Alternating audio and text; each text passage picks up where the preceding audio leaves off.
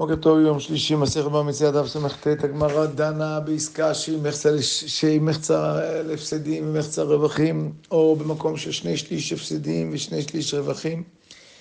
אבל אמרתי שאם אדם אמר, קח סחורה, ולא נכנסו לפרטים, לא אמרו מה, מה יקרה עם הפסד, מה יקרה עם רווח.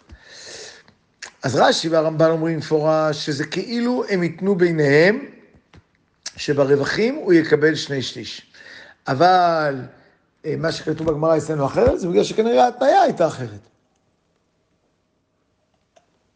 אבל סתם ככה, זה חצי אה, בהפסדים ושני שליש ברווחים לטובת המתעסק. הרמב"ם אומר שהברירה בידי המתעסק. הוא צריך להחליט, או שהוא רוצה לקבל שני שליש מהרווח וחצי מההפסד, או חצי מההפסד, חצי מהרווח, ואז שליש מההפסד. שיטת הרייבד, שהברירה היא בידיו של הנותן. כלומר, כשבאים לחלוק את העסקה, אז בעל המעות צריך להחליט מה הוא רוצה. האם הוא רוצה לקבל שליש מהרווח ולחלוק בשווה את ההפסדים או לא. לא כל כך ברור לי, הרי אה, הנותן תמיד ירצה שיחלקו בשווה, שאם יהיה הפסד בעסקה, יאמר שרצונו שיחלקו בהפסדים בשווה, וברווח ייתו למתעסק שני שליש. אם יהיו רווחים, הוא יגיד את ההפך. בקיצור, הרי תמיד זה ילך לפי מה שהוא יראה, שהוא ירוויח יותר. אז אה, אה, הוא אומר שבאמת, אה, כנראה צריך לקבוע איזה נקודת זמן, שרק עד לאותה נקודת זמן הוא יכול לקבוע מה, מה הוא רוצה שיהיה. אוקיי. מה יהיה הדין אם הזכירו רק אופציה של רווח, ולא דנו באופציה של מה יקרה אם יהיה הפסד? גם על זה יש כמה גישות. רבותיו של הרמב"ם אמרו שתמיד אנחנו משערים לפי השיעור של הפיקדון. כלומר, אם נניח שכר הטרחה של הלווה הוא שליש, אם, שכר, אם אנחנו אומרים שהוא מקבל שליש מהרווח, אז ממילא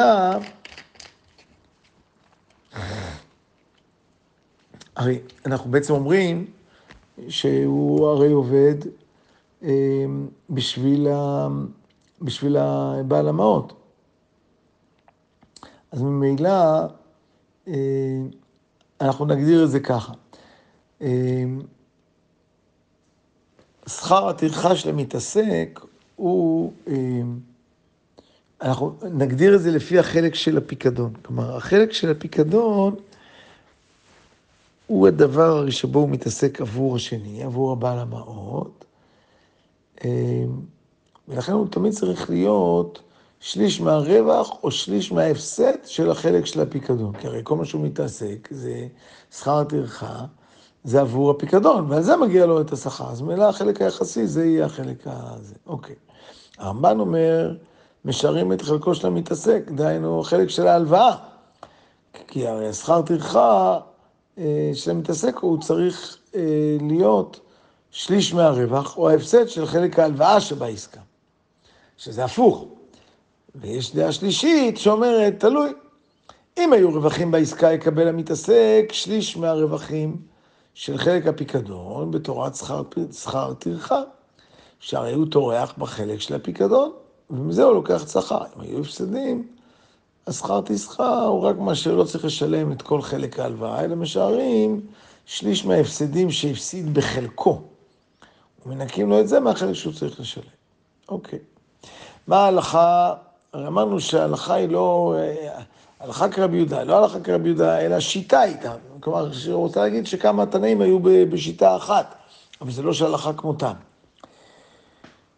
אה, היא כותב על זה הרשב"א, שרב נחמן אמר הלכה כרבי יהודה ורבי יוסי ורבי שמעון מגמליאל, לא פסק ההלכה ככה, אלא הוא רצה לומר שהדעות של התנאים האלה הן קשורות אחת לשנייה. ו- ו- ולא בהכרח כמה אנחנו סוברים כמותם. באמת, מה הרעיון של שיטה? פשוט הרשב"א כותב שכשחכמים ראו שאין הלכה כמו אותם אנשים, אז במקום להעריך ולומר אין הלכה, אמרו פלוני ופלוני ופלוני אמרו דבר אחד, אבל זה בעצם צורה להגיד שאין הלכה כמותם. יש כאלה שאומרים שמכיוון ש... נכון שהם אומרים את אותו כיוון, אבל מכיוון שכנראה הם חלוקים בניואנסים, אז לכן, אה, בסופו של דבר, כל אחד מהם הוא יחיד. אה, יש כאלה שאומרים שכשאתה מונה את מספר הרבנים שאומרים כך, אתה מזכיר אותם בשמותיהם, כנראה שהאחרים הם רבים יותר, ולכן הלכה כמותם. שלום.